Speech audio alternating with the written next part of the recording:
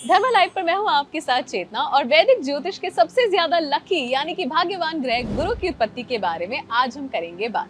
देखिए, गुरु यानी कि बृहस्पति एक ऐसा ग्रह है जो कुंडली में किसी भी घर में स्थित हो, ये बुरा प्रभाव नहीं देता। काल पुरुष कुंडली में ये नौवे और बारहवें घर का स्वामी, यानी कि धनु और मीन राशि का स्वामी है। इस कारण ये ज्ञान, सौभाग्य और मोक्ष का कारक होता है। गुरु की उत्पत्ति की कथा भी बहुत ही नवीन है। गुरु को ऋषि अंगीरा का पुत्र माना जाता है। ऋषि अंगीरा भी बहुत ही ज्ञानी और वेद के प्रकांड पंडित थे।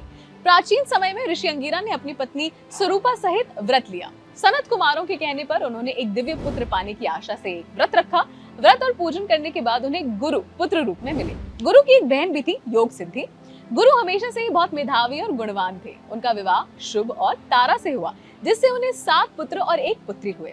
बड़े होने पर वो देवों के गुरु बने और शुक्र दैत्यों के। शुक्र के पास संजीवनी विद्या थी, जिससे वो मृत दैत्यों को भी जीवन दे सकते थे।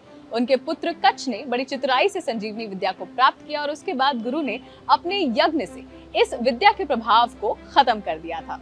इन्हें ऋग्वेद के एक पाठ का जनक भी कहा जाता है। तो ये थी ज्योतिषानुसार आपके लिए गुरु की कथा। कैसी लगी मुझे नीचे कमेंट सेक्शन में लिखकर ज़रूर बताइए और ऐसे ही और वीडियोस के लिए देखते रहिए धर्मा लाइव।